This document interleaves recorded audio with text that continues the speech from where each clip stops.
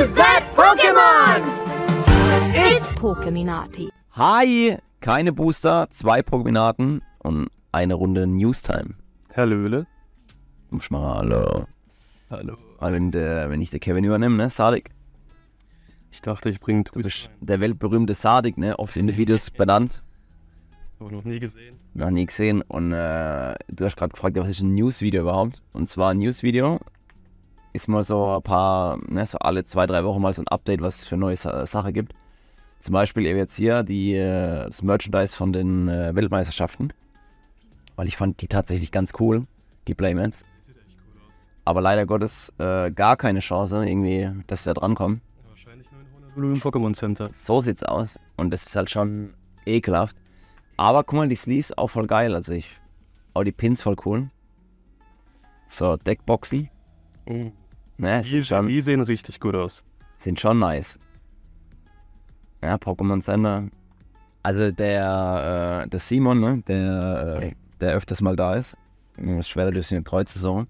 Ähm, der öfters mal da ist, der hat uns erzählt, dass er da einen Trick kennt, wie er da trotzdem bestellen kann. Aber den verrate ich jetzt nicht. Normalerweise nicht nach Europa, ne? Den verrate ich jetzt nicht. Ah, ja. Hier, ne, zieh den Rucksack aus, wenn du mit mir redest. Äh, dein Anglerhut gibt's ja auch. Wasserball. Schönes Strandhandtuch wahrscheinlich. Passend zu Honolulu. Aber wirklich cool, ne? Alola Kokowai mit Aloha. Ne, ist schon Das ist Bettwäsche, gell? Bettwäsche, ne? Sicher? Sieht aus Ich weiß In der so, Playmat sieht das aus. so riesig. Ja, guck mal die Ende doch hier. Sieht nur so groß aus. Ja, kann sein. Aber das dahinter war die Bettwäsche. Das kann sein, ja. Hier ein Durenzo, ne, was ist das? Ein Durengard, ja. Ist aber nicht die Weiterentwicklung, gell? Dann weiß ich es nicht. Aber fancy Stuff auf jeden Fall. Das Ist da. Würfelset, ne? Würfelsets. Oh, oh, oh. Not bad. Aber ist noch in groß. Ja, hier gibt es ein Rucksack noch in groß. Sleeves, ne? Ah, da kommt das Würfelset. Guck mal. Ist aber schön, ne? Das ist richtig schön. Ah, ich glaube, das sind sogar so goldene Marken für Verbrennung und für Vergiftung. Mhm. Also sie sehen golden aus, ob sie wirklich golden sind. Muss ich mal reinbeißen. Deckbox, Schlüsselanhänger, Playmat. Boah, mit dem Playstamp drauf. Will man immer haben. Kriege bestimmt die Teilnehmer, hä? Oder im Pokémon Center einfach zum Kaufen. Mit einem Playstamp. Ich glaube? Playstamp-Produkte kriegst du gar nicht zu kaufen, so. Außer, ne? Auf Ebay und so. Ah, die Gitarre bräuchten wir auch. Bisschen Stimmung hier. Äh, was haben wir hier noch? Was für ein Look? An den Skateboard. Skateboard. Das ist bei immer so, dass da, okay, nicht immer so, aber da ist meistens immer auch ein Skateboard dabei bei den Pokémon Centern. Wobei ich jetzt nicht weiß, ob es nur bei den Worlds so ist oder ob generell jedes Pokémon Center sein eigenes Skateboard hat. Echt? Mhm. Krass. Ähm, was wir natürlich auch jedes Jahr irgendwie haben, weil du jetzt sagst, das ist jedes Jahr irgendwie so. Jedes Jahr gibt es eine McDonalds-Aktion. Und die soll jetzt auch wieder kommen. Und zwar Ende 2024 bis Januar 2025. Kann sein, dass sie bei uns einmal früher stattfindet. Hatten wir jetzt auch schon gehabt. Ähm, ich glaube, das war das Celebrations, was früher kam, oder das, das weiß ich jetzt nicht mehr. Das weiß ich auch nicht. Bei den McDonalds bin ich auch nicht so. Aber es gab auf jeden Fall äh, eine Serie, die bei uns ein bisschen früher am Start war. Leider Gottes auch wieder die ganze McDonalds-Betreiber im Vorfeld schön die Kartonage verkauft. Ne? Weißt du, der Pokémon dieses Jahr irgendwas dagegen gemacht. Das war halt sehr beliebt hier. Da war der riese Hype, wie der äh, Jubiläumsset natürlich. Da habe ich tatsächlich auch gestartet, die zu sammeln. Davor nicht. Da ging es jetzt, ne? War jetzt auch nicht so die, also klar Pikachu und Victini vielleicht, Vulcano noch, aber der, okay, Lapras auch noch cool, aber der Rest, ja, Wobei ähm, Bouts auch noch ein Liebling ist tatsächlich bei den Startern. Ja, aber vom, vom äh, Hype-Auslöser, sag ich jetzt mal, ist halt eher Pikachu, Mew, Mewtwo, Evoli. Glumanda, Glurak. Ja, genau. Und das war ja das letzte jetzt mit den neuen Startern. Daher mal gespannt, was da rauskommt. Haben die noch irgendwelche Spekulationen? Nee. Einfach nur, dass es dann stattfindet. So, dann habe ich noch was. Stellar Krone Produkt. Und zwar die Ultra Premium Kollektion. Gibt es auch für Stellar Krone. Das ist bis jetzt bekannt, was drin ist. Also drei Promos, spekulativ. Sind es die drei? Uh. Bei der Karte wird sich jemand freuen. Ja. Der Matze Fummel. Matze. Und die wird erscheinen, warte mal, habe jetzt noch nicht gelesen gehabt, wird erscheinen, weiß man jetzt halt genau. Aber die Würfel sind echt cool. Ich glaube, das sind so, So Kristallwürfel. aber auch so sechskant sind sie. Ja, ja. Sind ja eh nur Schadensmarken, deswegen beeinflusst das jetzt nicht beim Würfeln, ne? Ich dachte, das sind normale Würfel. Ich dachte, habe ich es falsch gesehen. Ja, nee, aber die, die Schadensmarken-Würfel sind ja eigentlich auch Würfel, ne? Das ist ja richtig, aber ich denke halt, wenn du jetzt zum Beispiel Kopf- oder Zahl würfelst und du hast so einen Sechskant-Würfel, dann wäre es ein bisschen, weißt du, ob das so Turnier-Legit wäre. Nee, tatsächlich nicht so. Genau. Und drin sind 18 Booster Packs, 3 Promos, 8 Foil, Cracked Ice Terror Kristall Basic Energiekarte. Auch nicht schlecht. Playmate Deckbox, Metallic Coin, Damage Counter Dice, genau. Zwei Plastic Condition Markers. Ja, gut, die brauchst du halt unbedingt. Ohne Codekarte. Schätzungsweise wird es ja auch wieder um die 160 kosten, schätze ich. Also, das ist spekulativ. November steht hier, November, guck mal. Expected November.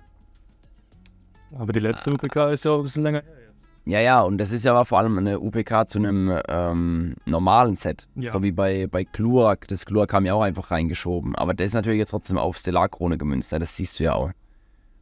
Durch die. äh, Das sieht man. Wobei, man wir jetzt auch, wir wissen jetzt auch nicht, ob da jetzt nur Stellar Nee, nee, wird gemischt sein, definitiv. Ja, okay. Also die Booster-Auswahl ist auch äh, noch nicht bekannt, deswegen. Dann genauso wie bei der Lurak UPK.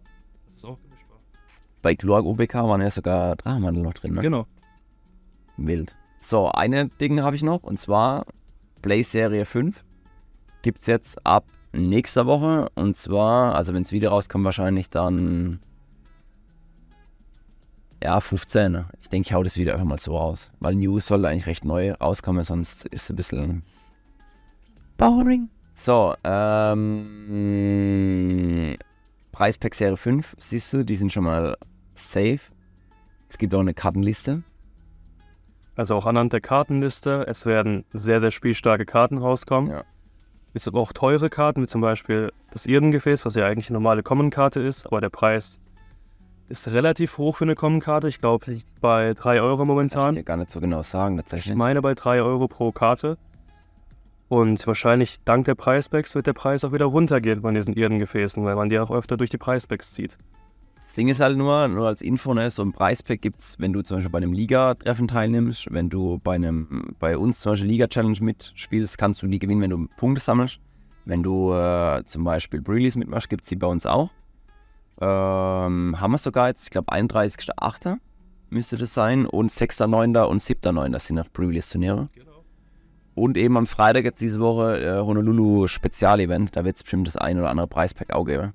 Sieht es da ändern, die Preispacks? Die nicht, aber also es könnte sein, doch, könnte sein, weil die am 15. kommen sollen, am Donnerstag, offiziell. Könnte sein, dass die sogar schon am Freitag dann da sind, aber versprechen kann ich so nicht. Fakt ist auf jeden Fall, die dürfen nicht verkauft werden, also wir verkaufen die nicht. Die äh, werden zwar verkauft, aber das ist von Pokémon überhaupt nicht gewünscht, weil das soll ja die spielende Community stärken. Und finde ich auch ein, eine gute Idee tatsächlich, muss ich sagen. So, hier gibt es die Liste nochmal, wenn ihr es in Ruhe angucken wollt. Könnt ihr euch gern das Video anhalten. Also ich finde halt zum Beispiel, ähm, dass Mewtwo EX dabei ist noch ganz cool. Das haben wir noch nicht gesehen, Jirachi. Ji- Jirachi. Jirachi. Nee, definitiv. Vor allem für die Mew und Mewtwo EX-Fanatiker, die das dann so Luak hast du halt auch wieder drin, ne? Ja, mit Stamp nimmt man es auf jeden Fall gerne mit. Oder auch für die Leute, die noch das Master Set für 151 machen. Da gibt es ja auch zwei Karten aus 151 da dabei. Mhm. Also ist eine Bereicherung fürs Master Set, würde ich mal sagen. Zum Beispiel, ich glaube, das Dodri war es. Der Mew EX hier Das. Mew EX, genau. Dodre ist auch, genau. Nur die zwei sind's. Der Rest nicht, gell? Der Rest nicht. Lohnt sich. Also hier nochmal Bilder dazu, habe ich noch auch noch gefunden. Zwar der English One, aber kann man sich ja trotzdem mal reinziehen. Und Astrina-Karten. Natürlich die begehrten Ace-Specs. Hellen Umhang. Ja, und erstklassiger Fänger ist auch drin. Eigentlich die Ace-Specs, die auch öfter Stimmt, gespielt ja. werden, sind da drin. Krass. So, dann äh, gucke ich mal, wann es wieder rauskommt. Ich hoffe, euch hat es wieder gefallen. Sadik ist jetzt äh, wahrscheinlich äh, öfter mal dabei, weil ich habe ihn gegen Kevin eingetauscht. nee, natürlich nicht. Aber ähm, schreibt es gerne in die Kommentare, wie ihr es findet. Dann machen wir ein bisschen öfter mal ein paar News-Videos. Dann äh, callen wir mal rein in die Nummer wieder. Dann würde ich sagen, in diesem Sinne macht's gut. Tschüss. Tschüss. Here we go, here we go again. Trying hard, but you wanna be my friend. Ain't no place to hide, ain't no one to run to. Here we go, here we go again. Call my bluff, I'ma be here till the end.